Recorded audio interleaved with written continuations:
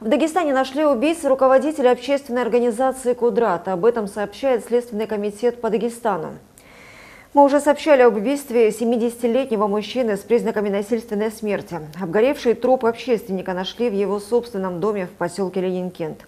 Следствие выяснило, что убийца поджег дом, чтобы скрыть следы преступления. Однако пожарные успели потушить огонь. В данный момент преступник заключен под стражу. Расследование уголовного дела продолжается.